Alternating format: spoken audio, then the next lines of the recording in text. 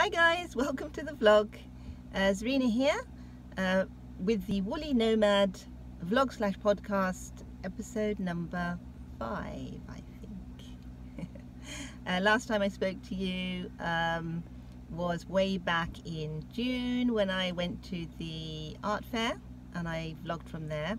Uh, unfortunately, I was very busy, so I couldn't do a lot of vlogging. It, so there was limited uh, content in terms of knitting in that vlog. so hopefully, this uh, vlog is going to be a bit knit heavy. Um, I'm hoping to share some projects that I've been working on and hopefully something that I finished. Uh, we'll continue with the Armscote Manor mittens.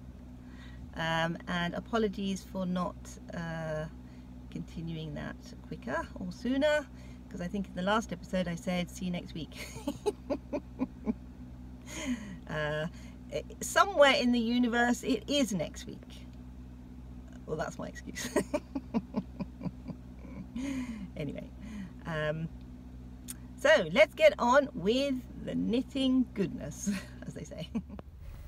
My fur this week are these lovely adventitious Christmas socks which I knit up a year or so ago and I used various stitches with this pattern and I've now made it available on my blog so you can head over there to woollynomad.blogspot sorry. Uh, the link is in the description. There's lots of different stitches you can use and they're a great pair of socks to knit up. So there's something for you for Christmas. The cotton socks were coming along so yeah just needed a bit of untangling of the ball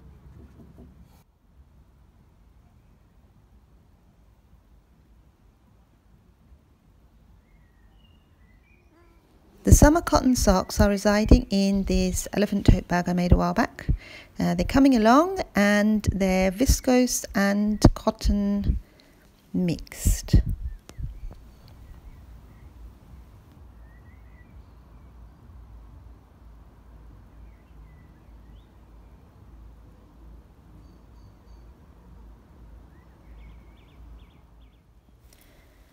Knitting and strolling with Bobbles, of course. And I'm currently knitting the summer cotton socks, and they are a blend of cotton and viscose, kind of a four ply or fingering, and it's a really soft, drapey fabric, uh, very comfy so I'm looking forward to wearing them. I'm using a 2.75 millimeter needle and I'm currently um, just past the heel and I'm now doing the leg area of the sock. And here it is in all its glory on the grass. Uh, I tried them on and they're a bit loose, but I made them loose on purpose because I expect them to shrink. And I don't want tight cotton socks.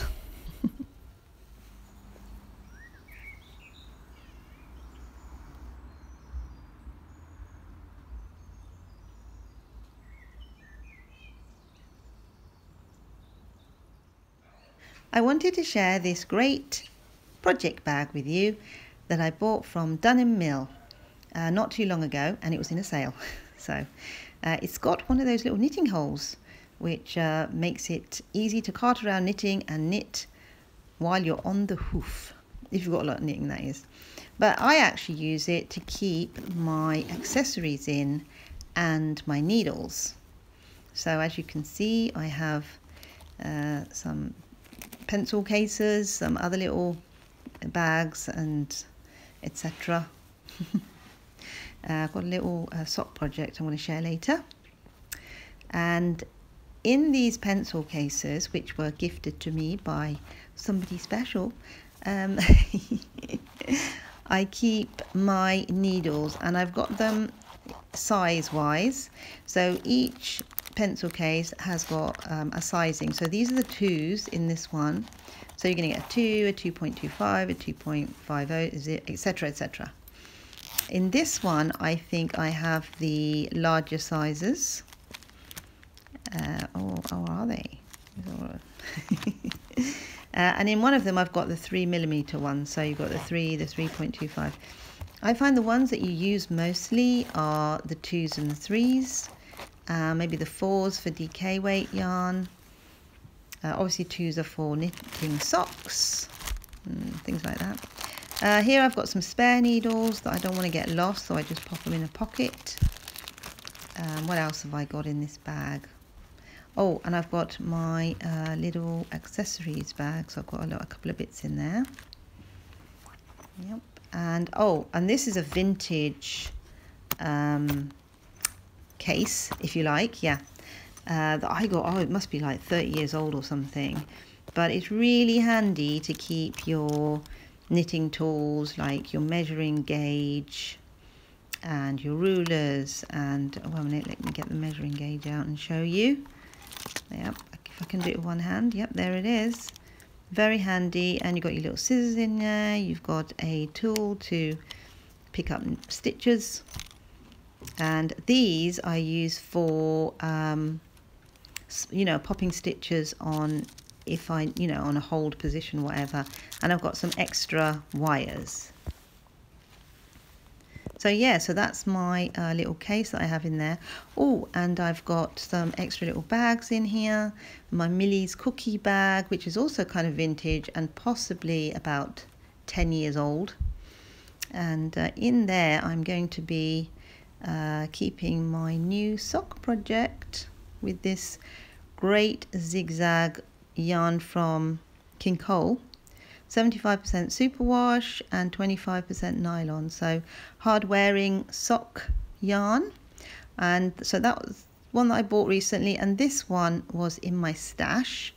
And I think this is King Cole too. It could be West Yorkshire Spinners, but I think it's King Cole. Uh, yeah, so I'll be starting a helical knit with these two yarns, which hopefully ne next episode.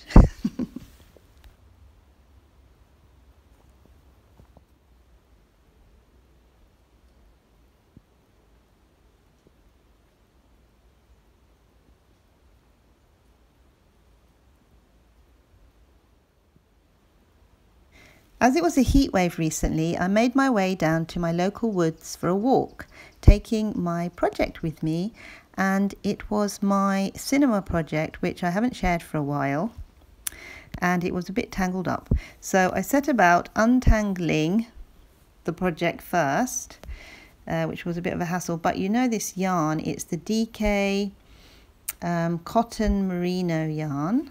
I think it's 50% cotton, 50% merino uh, a lovely yarn to knit with. Uh, once organised, uh, I laid it out to have a look at. There are some anomalies, uh, so they're not perfectly knit or anything, but not to worry. And it's a plain, um, well, it was a provisional cast on, a plain foot, plain uh, toe and heel, and then a helical uh, knit with the two colours so I'm sort of picked it up again now and I'm hoping to finish that in the not too distant future.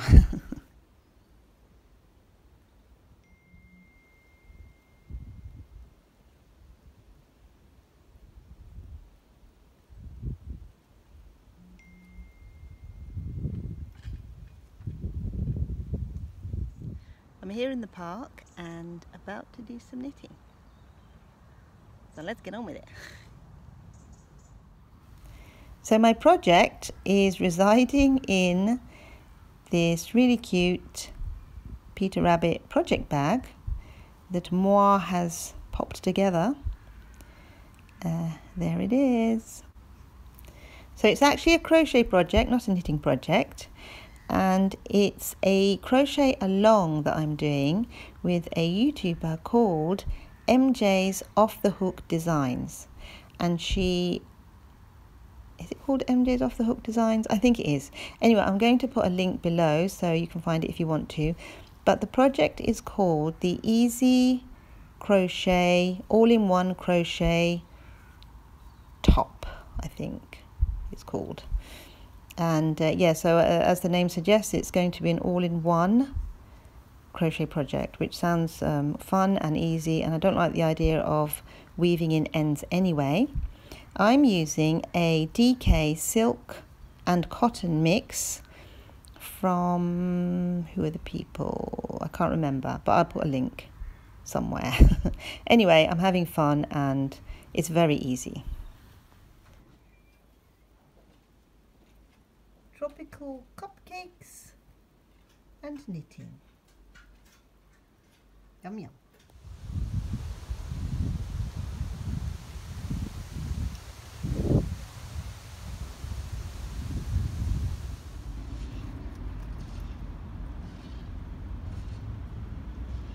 Apparently, Birmingham is famous for its canals, and uh, I don't know if you know which bit this is, but uh, I am in Birmingham, and there is a retail park behind me. And I brought my project in my fun little project bag. And here, this area has got a nice sort of seating bit that you can eat lunch on and also do some knitting. So my lovely project is residing in this little project bag that I made, uh, me made project bag again, and I'm using the Elements yarn, which I bought a while back from Hobbycraft, and I talked about it in a previous episode. So it's DK weight yarn, and it's in the freshwater colorway and it's very soft. Uh, I am using the lace weight Addi 4 millimeter needles. And these are the recommended needles for this yarn as says on the label. But it's up to you of course depending on your gauge. And this is a really soft drapey kind of fabric uh, which would be lovely for a scarf or a jumper. Really nice for next to skin. I really recommend it. Um, I did do a swatch and washed it and it didn't seem to make much difference. So hopefully it's going to hold up um, I cast on uh, did a rib and then just doing some plain knitting and this is going to be when it grows up it's going to be a beanie hat yeah.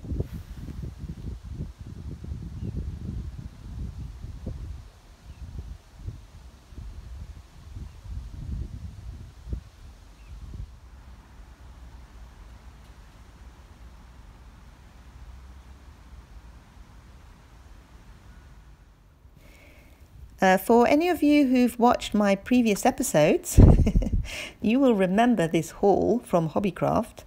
Can't go wrong with one pound a ball. so uh, get your fluff on is what we're going to be doing. And uh, I, I don't know, it, it's a, a very nice, soft, fluffy yarn. And I thought I'd give it a go, take a risk, etc. Yeah, there we go. And I have actually put together a design for your benefit. I've, uh, you know, popped it on some paper. so this is going to be knit flat or in the round and each row, each section, sorry, will be two or four rows. And you can either knit it in the round or you can seam it. So totally up to you really. There's um, two arguments well, for and against, if you like. Uh, I've also got sort of what I might do cast on knit, but I've left some blanks so that I can fill it in when I know what I'm doing. Uh, so I'm hoping to do a swatch first. And um, yeah, so if I knit it in the round, I might get a jog, but you know, with the join, with the colour join. Uh, and obviously if you knit it in the flat, you don't. So yes. Continuing with our mitten knit along and it's the Armscote Manor mittens. I'm using the Armscote Manor yarn so we've got a cream colour and a grey. This is how far we've got so far. We've done some rib, we've done some pattern and now we're ready for the next bit. So if we look at our mitten we have got the thumb gusset to do now and the thumb. So we're going to do the thumb gusset area and that middle part of the mitten. So that's the bit that we'll be doing today. So we've been following the pattern chart which is available on the blog and the link is down below in the description. So uh, we've just knit a plain row and now the next row is a pattern row. We're going to be using a couple of stitch markers, uh, one to denote the beginning of the thumb gusset and one to denote the end. So the first stitch is a knit stitch in the grey and I like to organize my yarn so I usually have the cream on my finger left hand finger and the working yarn is the grey we're going to make one stitch so you pick up your stitch um, and you're going to knit into the back of it. So the stitch leg is at the front but you will knit into the back. And that's a make one and it makes a kind of a little stitch that looks a bit like a knot but it's quite invisible when you um, finally look at it. And then the next stitch is a cream colored one. Uh, then we're going to make another one but on the other side. So this time the leg is on the back and we're going to knit through the front like so. So you might have to rewind that and go in slow motion. And then you knit one. And those five stitches are the beginning. So primarily the first stitch is always a knit the second stitch a make and then the middle stitches are just stitches. So yeah, so the middle stitches, which will expand, are just middle stitches. Right, so we're going to put another marker to denote the end of the gusset stitches, if you like, thumb gusset stitches. And then we're just going to continue knitting in pattern as per the pattern, which, like I said before, is on the blog. I have got some written instructions down below, but they're not all encompassing as to which bit is grey and which bit is white. yeah so once you finish that row then you just um, slip your marker. And the next row as you can see will be a plain row. And we're not going to increase at all on this row. We are going to just knit. So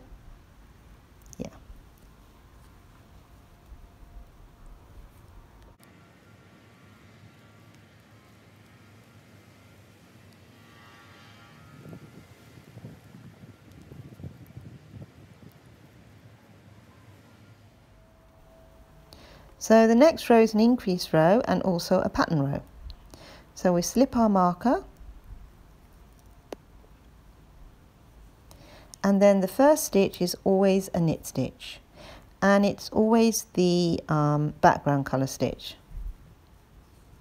Well, generally always. uh, in this instance anyway. Uh, the second stitch is a make stitch and again the leg is at the front and you knit into the back.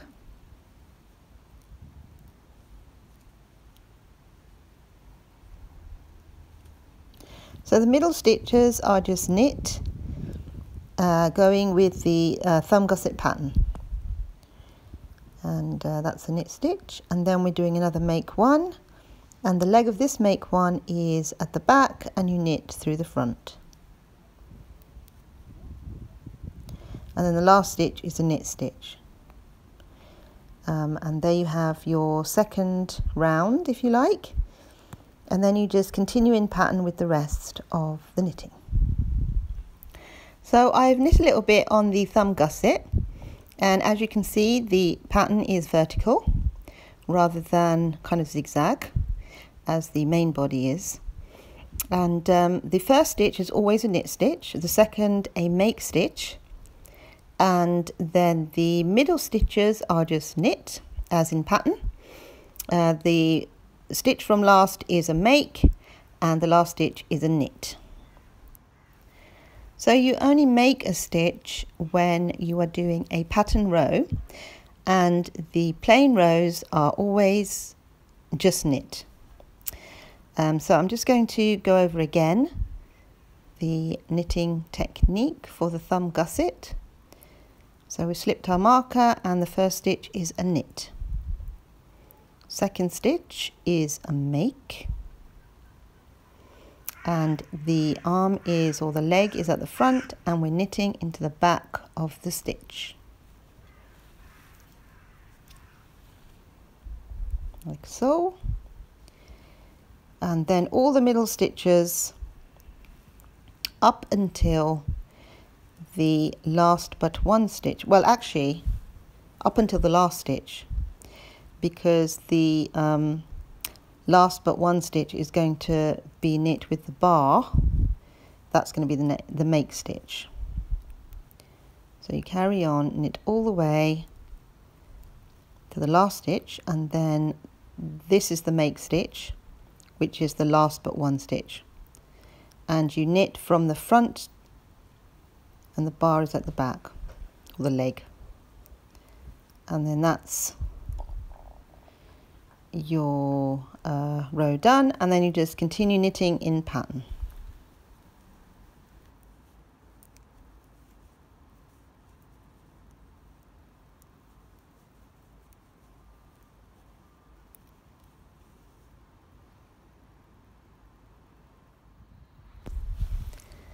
The thumb gusset is done and we've knit an extra 17 stitches. It's looking lovely and neat and you can see where the thumb gusset is coming out of the main knitting if you like. So let's just go ahead and try it on and see what it looks like. yes, um, as well as the 17 we've just made, we're going to make another three stitches and they will help to eliminate any holes that we might get at the palm thumb join, if you like. First of all, though, we're going to put the thumb gusset um, stitches onto a holding needle. I like to use a 9 inch circular. There are other things you can use, like you could use a bit of yarn uh, with a darning needle or you could use a specific tool that holds needles, uh, sorry, holds stitches. Um, but I like to use the uh, circular needle. To be honest, I sometimes use just general needles. As long as they've got some wire in them, it's handy. Here we go. Uh, this is the tool, uh, hang on, yeah, here it is. So you can actually put the stitches on that for holding purposes. But uh, what I do is I just, um, yeah, take off the thingy. And we're going to be making the stitches just here. Where, you know, thumb meets palm. So what we do is we organise our knitting so that we can wrap some stitches around the needle. So you just wrap like so and we're going to at this point just wrap two stitches and then we're just going to continue knitting. Uh, yeah, so there we go. and when we get to the, um,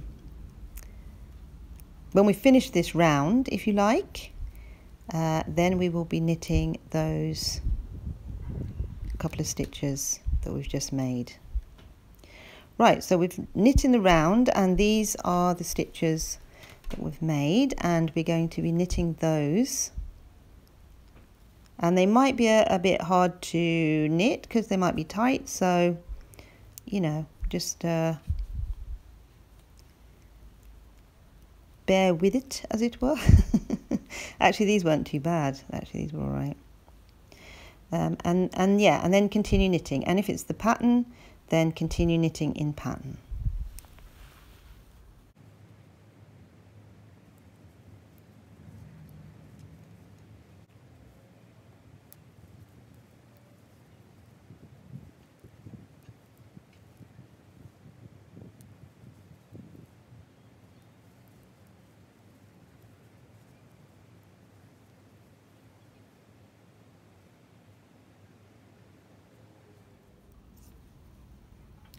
I've noticed an anomaly with the knitting.